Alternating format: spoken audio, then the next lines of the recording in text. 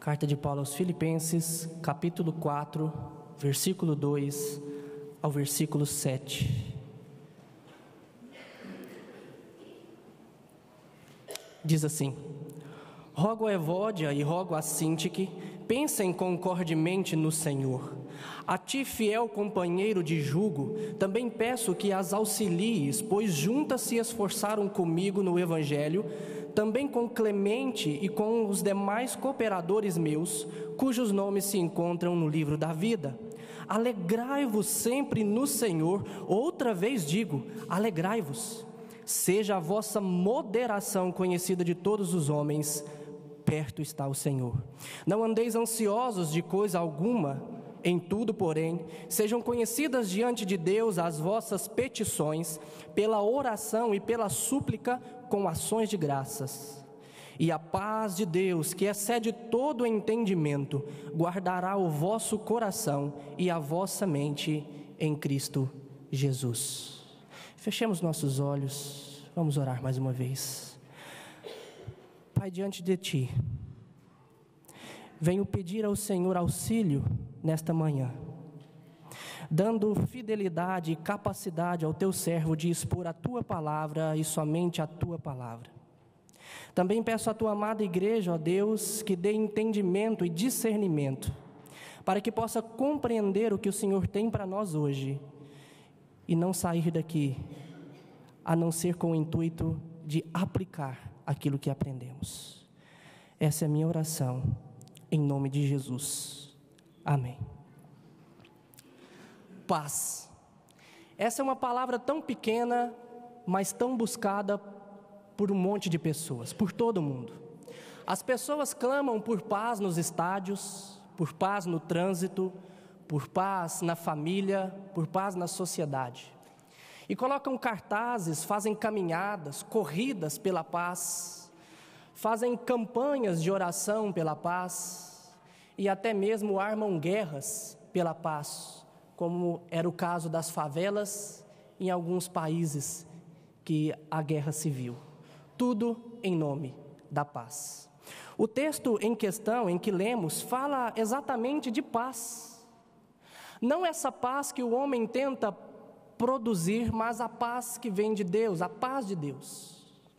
O local que é aqui, que está aqui no texto, não é um estádio, não é o trânsito, não é uma sociedade, mas é uma igreja, e por sinal, uma igreja missionária uma igreja cooperadora com o Evangelho, e Paulo diz isso pelo menos em dois lugares, capítulo 1, versículo 5, e no capítulo 4, a partir do, cap, do versículo 14, ele diz que essa igreja era uma igreja que cooperava com ele desde o primeiro dia até o momento em que ele escreve essa carta. E naquela, nessa igreja a qual ele escreve isso, estava acontecendo alguma coisa que era um descontentamento, eh, era algo que não estava tendo sintonia entre alguns irmãos em particular, mas com certeza não era um ambiente de paz, nem de unanimidade, de unidade. E por isso, então, Paulo escreve essa carta. Alguns motivos que ele escreve a carta é para cientificar a igreja de que ela cooperava com ele, de demonstrar a alegria que ele tinha para com essa igreja, mas também de exortar esta igreja quanto a algumas questões para que ela não deixasse de ser essa igreja cooperadora, essa igreja missionária. Paulo vai falar de os falsos mestres vai falar da importância da unidade, vai falar da importância do amor, tendo como exemplo o amor de Cristo. E aqui nesse texto, então, ele fala da importância da paz reinando no meio da igreja. E nós vemos que no versículo 2 havia algo de discordância entre duas pessoas naquela igreja. É interessante quando nós olhamos e podemos tirar algumas conclusões de Evódia e Sintique, é, as duas irmãs, entre as quais estava havendo esse, essa discordância, não haviam concordado mais. O interessante é que elas eram duas irmãs em Cristo, faziam parte dentro da mesma igreja. Outra coisa é que elas eram cooperadoras, elas se esforçavam em prol do Evangelho, juntamente com toda a igreja, elas cooperavam com o Evangelho. Paulo diz que elas se esforçaram não somente com ele, mas com Clemente e com mais pessoas mais cooperadores dele. Mas o interessante também é que elas deixaram de fazer isso. Quando vocês observam, ele diz que, olha, pois juntas se esforçaram. E o verbo em seu original, é, que é usado, é um verbo que tem a principal característica expressar algo que aconteceu no passado e encerrou no passado e não tem nada no presente. Elas deixaram de cooperar, foram cooperadoras, mas deixaram. E meus irmãos, quando a falta de paz, as coisas, as pessoas deixam de ser o que eram. A igreja deixa de ser o que era, deixa de haver união, deixa de haver cooperação. E isso estava acontecendo com essas duas irmãs. E com certeza poderia acontecer com toda a igreja se isso não fosse tratado. Por isso, Paulo tenta mostrar aqui a importância da paz reinando no meio da igreja, e ele vai nos mostrar como que nós podemos gozar usufruir desta paz de Deus. E ele não vai dizer para nós que nós devemos colocar faixas, fazer campanhas, nem muito menos armar guerras pela paz. Mas ele vai nos mostrar que a paz de Deus é resultado de pelo menos três atitudes na nossa vida como cristãos. E a primeira dela é alegria. Ele diz no versículo 4: Alegrai-vos sempre no Senhor. Paulo utiliza essa palavra 40 vezes em suas cartas. E a carta que ele mais utiliza é aqui em Filipenses 14 vezes. E a forma como ele termina o versículo nos sugere a nós a, a, importância que Paulo dava à alegria no meio do povo, e ele faz assim, tentando, através da repetição, colocar um princípio tão importante. Ele diz alegria, alegria, alegria, e aqui ele diz: outra vez vos digo, alegria, alegrai-vos. Agora, esta alegria que deve estar no meio da igreja não deve ser uma alegria momentânea, mas uma, uma alegria constante, sempre estarmos alegres. Quer ver um cristão contente e alegre dentro da igreja é quando as suas vontades são realizadas, quando as suas opiniões são acatadas, quando os seus projetos são concretizados dentro da igreja. O problema é quando isso acontece ao contrário. Numa aula de gestão lá no seminário, um colega levantou um problema, onde numa igreja eles reuniram para construir um templo novo, e quando o templo estava pronto, esperando a pintura, eles fizeram uma reunião para que então eles decidissem a cor da, da igreja. E um irmão levantou e disse: Olha, eu sugiro que pinte de branco, porque o irmão Fulano de Tal foi o que mais contribuiu com a igreja, para a construção da igreja, e ele ficaria muito contrariado se não pintasse dessa cor. O outro levantou e disse: Não, eu sugiro que pinte de verde, porque a família do fulano, do Beltrano, eles trabalharam aqui dentro, puseram a mão na massa. E eu acredito que nós precisamos honrá-los, e se nós não pintarmos de verde, então eles vão ficar contrariados. E foi levantando um e foi levantando outro, até que um levantou e disse: Olha, eu tenho a solução para que ninguém fique contrariado. Vamos pintar um pedacinho de cada cor, assim a gente agrada todo mundo. Ah, se fosse possível agradar a todos. Mas nós precisamos entender que dentro da igreja, apesar de sermos um corpo, somos vários membros. E muitas vezes nós somos desagradados uns pelos outros. Muitas vezes os relacionamentos dentro da igreja se frustram. Muitas vezes os nossos projetos não são realizados e as nossas opiniões não são acatadas. Mas Paulo não está dizendo para nós nos alegrarmos sempre nessas coisas. Paulo está dizendo para nós nos alegrarmos sempre no Senhor. A nossa alegria deve ser o Senhor. Portanto, a pergunta nossa não deve ser se será que é possível viver sempre contente? Não. A pergunta deve ser como isso é possível. E a única forma de vivermos sempre unidos, contentes, alegres, é se a nossa alegria for o Senhor, aquele que morreu por nós, que entregou a sua vida para que nós pudéssemos todos estarmos reunidos e podermos dizer que somos filhos dele, membros e um só corpo. Essa deve ser a nossa alegria. Portanto, as coisas que fazemos dentro da igreja não deve ser o motivo da nossa alegria, mas a nossa alegria deve ser o motivo de fazermos todas as outras coisas. Eu sou alegre, eu sou contente, eu estou sempre contente porque o Senhor me permite fazer, viver assim. E por causa disso, eu vou fazer tudo. Seja contrariado ou não seja contrariado. eu vou fazer aquilo que me foi colocado, porque o Senhor é a minha alegria e essa alegria é o que me motiva. Mas, em segundo lugar, segunda atitude que nós devemos ter como cristãos é moderação. Paulo diz no versículo 5: Seja a vossa moderação conhecida de todos. Interessante que essa palavra, moderação, a palavra que é traduzida aqui por moderação, ela aparece também na sabedoria que vem do alto, em Tiago 3,17, e ali ela é traduzida como indulgência, indulgente.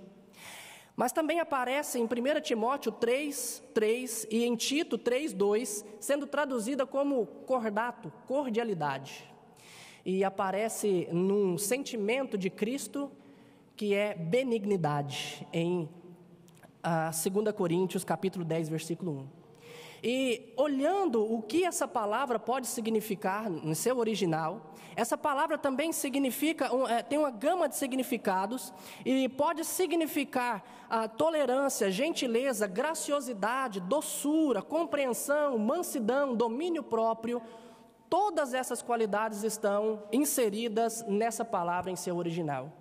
Daí eu entendo porque de Almeida traduzir aqui por moderação, porque modera, moderação dá a ideia de equilíbrio. E o que Paulo está dizendo é que nós cristãos devemos agir com equilíbrio de todas estas qualidades, de todos esses aspectos. Ah, assim, o cristão deve ser tolerante, assim como é compreensivo, e compreensível tanto quanto gracioso, gracioso na mesma proporção que cordial. Ah, às vezes nós vemos algumas pessoas falarem assim: ah, fulano ele tinha que ser mais, uh, ter mais domínio próprio, ele estoura facilmente, às vezes é, desagrada alguns e maltrata outros. E outro vem logo em defesa e diz: é, mas ele é tão misericordioso, tão bondoso, ele doa tanto o seu tempo para a igreja, isso compensa. Ah, o problema disso é que Paulo não está dizendo aqui que uma qualidade deve compensar a outra. Quando Paulo escreve aos Gálatas, ele diz que o fruto do Espírito é um fruto, não vários frutos. É como uma mexerica que tem vários gomos. Mas uma mexerica, se ela tiver um gomo bom e o restante estragado, todo fruto está estragado. E o que Paulo diz exatamente que precisa haver equilíbrio, porque eu não posso ser bondoso, mas viver de cara feia com todo mundo e mal cumprimentar os outros. Mas também eu não posso ser aquela pessoa que cumprimenta e que trata muito bem, mas na hora que precisa dela, ela não tem misericórdia e não age com piedade. Paulo está dizendo não, precisa haver equilíbrio dentro da igreja. Todos precisam ser equilibrados com todas essas qualidades. Portanto, o nosso desafio não é melhorar aquilo que somos bons, mas é aperfeiçoar a, a parte que nós somos deficientes. Portanto, se nós temos dificuldades de interagir, de ser cordial com os outros, devemos tratar isso.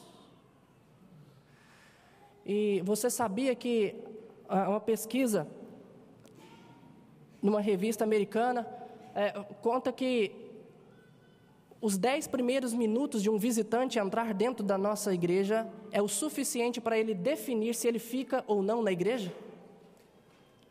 Os primeiros dez minutos.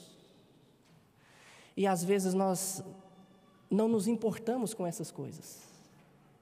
Mas nós precisamos ser cordiais, até com os que entram, para que eles fiquem. Precisamos ser cordiais com aqueles que estão do nosso lado e muitas vezes nós não gostamos muito dele. Já viu essa expressão dentro da igreja? Paulo está dizendo que a nossa moderação deve ser conhecida de todos, não somente de um ou de outro, não somente daquele que me agrada, mas eu preciso ser tolerante, não é com aquele que tira a minha tolerância, mas é com aquele que de todas as formas, às vezes, nos torra a paciência. Com esse eu devo ser tolerante. Eu devo ser gracioso com aquele que não demonstra graça com os outros. Porque o exemplo que nós devemos seguir é o exemplo de Cristo, é o exemplo do nosso Deus. Quando nós cantamos no hino, nós fomos convidados a ir a Ele e não existia bem nenhum em nós, mas Ele nos chamou até Ele. E é por isso que nós devemos ir. A nossa moderação deve ser exercitada no meio da igreja e deve ser exercitada com todos, sem exceção. Mas em terceiro e último lugar, Paulo diz também que a paz ela é resultado de, da nossa confiança em Deus. Confiança. Ele diz: Não andeis ansiosos de coisa alguma, no versículo 6. E a ansiedade não somente nos faz ficar inquietos, como também nos faz tomar atitudes impensadas, dentro da igreja, dentro da nossa casa, dentro do nosso trabalho, em qualquer outro lugar. Nós pensamos, nós sonhamos, nós planejamos como vamos executar os nossos sonhos, mas antes de apresentarmos os nossos planos a Deus, nós apresentamos a instituição humana responsável por aprovar o nosso projeto. E com isso, nós negamos o que falamos, que dependemos de Deus, e com as atitudes, nós dizemos, declaramos a nossa autossuficiência, que não dependemos de Deus. Agora, o que fazer diante disso? Como não andar ansioso, ansioso? E Paulo vai dizer que nós devemos apresentar os nossos desejos a Deus.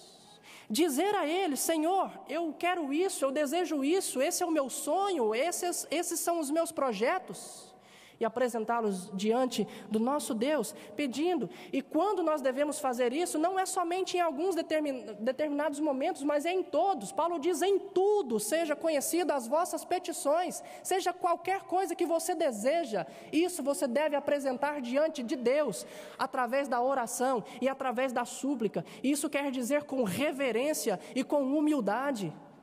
Não é exigindo de Deus, não é tentando determinar aquilo que você quer, mas é humildemente suplicando ao Senhor que faça a sua vontade. Mas algo que é determinante nisso tudo é como, com o que nós apresentamos os nossos pedidos, o que acompanha os nossos pedidos. Paulo termina o versículo 6 dizendo: fazendo tudo com ações de graças. É interessante que quando nós, geralmente nós agradecemos por aquilo que recebemos, não é mesmo? Alguém levanta na reunião de oração, eu quero agradecer porque eu recebi isso de Deus, eu quero agradecer porque eu fui livrado pelo Senhor, eu quero agradecer porque o Senhor me deu isso. Mas geralmente nós não agradecemos, dizemos: Olha, eu quero agradecer porque eu pedi ao Senhor tal coisa, então eu quero agradecer pela resposta, sem saber a resposta. Paulo está dizendo que as nossas ações de graças não devem ser feitas quando nós recebemos positivamente os nossos pedidos, mas deve ser feita quando nós oramos e pedimos aquilo, porque o resultado não importa. O que importa é que nós apresentamos a Deus os nossos desejos e a resposta que virá é a resposta que Ele tem para mim. Ou nós não concordamos com o que Ele, o mesmo Paulo diz em Romanos 8, 28, que todas as coisas cooperam para o bem daqueles que amam a Deus. Muitas vezes nós achamos que somos gratos porque agradecemos por tudo que recebemos, mas na verdade somos ingratos, porque quando não recebemos o que queremos, não agradecemos a Deus. E quando nós não fazemos isso, quando nós não agradecemos dessa forma, nós estamos dizendo que a nossa vontade é melhor do que a de Deus. Paulo diz: olha, orem, peçam, coloque os seus projetos, coloque os seus planos na presença do Senhor, mas agradeça a Ele junto com a oração, entendendo que quando vier o resultado, aquilo vai ser o melhor. Meus irmãos, essa igreja tem aproximadamente 1.300 membros. Vamos precisar, suponhamos que temos 1.300 membros. Cada um de nós tem um desejo e uma vontade. Se todos nós fizéssemos um projeto, seriam 1.300 projetos. E se nós apresentássemos esses projetos para o conselho, possivelmente ah, seria um projeto só executado e 1.299 não executados. Consequentemente, 1.299 pessoas frustradas, porque o seu projeto não foi realizado. Mas quando nós apresentamos a Deus com ações de graças, entendendo que a resposta dele é a melhor, um projeto pode ser realizado, mas todos nós ficaremos felizes e satisfeitos por entender que aquela resposta é a resposta de Deus, que o projeto que prevaleceu não foi o projeto feito pelo meu irmão, mas foi um projeto que Deus tinha vontade, que Deus tinha o desejo, que a vontade dele que prevaleceu no meio da igreja. porque nós somos gratos por tudo aquilo que vem a nós. E Paulo então, ele trabalha dessa forma dizendo, olha, seja a sua alegria no Senhor, alegrem-se nele, sejam moderados com todos, tratem todos da mesma forma que Cristo nos dá exemplo. E confiem no Senhor, peçam a Ele, mas não fiquem ansiosos por receber aquilo que vocês querem. Isso não é confiança, mas confiança é depositar a Ele os seus desejos e agradecer, porque a resposta que virá, seja ela positiva ou não, vai ser a melhor. Assim, meus irmãos, agindo desta forma, nós podemos ter a certeza que a paz, não a paz que o homem tenta produzir a qualquer preço, de qualquer forma. Mas Paulo diz, versículo 7: e a paz de Deus, a paz que tem origem nele, uma paz que excede todo o entendimento, uma paz que, por mais que você tente promover, você jamais irá conseguir, porque essa paz excede todo o entendimento. Guardará o vosso coração e a vossa mente em Cristo Jesus. Os meus sentimentos, os meus pensamentos, estarei guardado naquele que é a nossa rocha, naquele que é a nossa esperança, naquele em quem nós podemos tudo, em Cristo Jesus. E nada, absolutamente nada, vai abalar esta igreja, absolutamente nada vai impedir que a paz de Deus reine nessa igreja.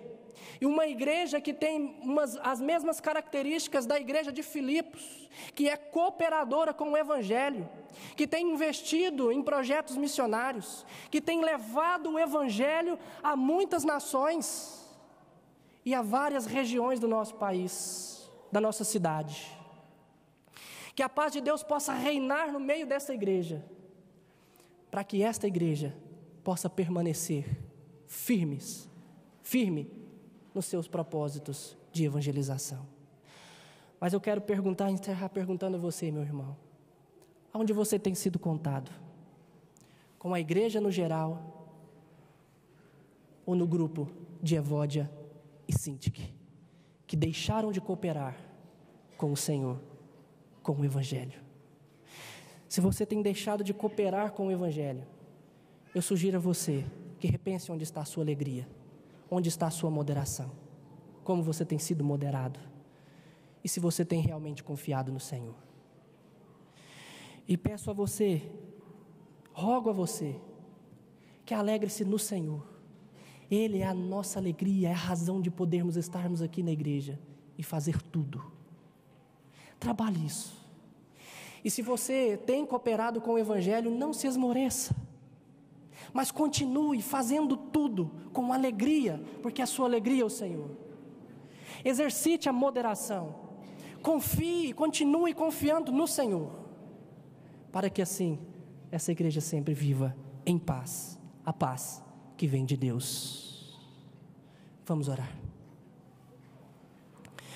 Pai, nós te agradecemos por tudo que o Senhor tem feito na, para essa igreja todas as coisas, todos os projetos, todos os membros, e pedimos ao Senhor Deus, que a tua paz continue a reinar nessa igreja, e que a cada um possa desta forma ser auxiliados pelo que Paulo nos diz, e sempre alegrarmos no Senhor, sermos moderados e confiarmos no Senhor, para que juntos possamos crescer como o corpo de Cristo, um só corpo, mesmo que vários membros mas todos agindo com o mesmo propósito, com o mesmo pensamento, unidos no Senhor.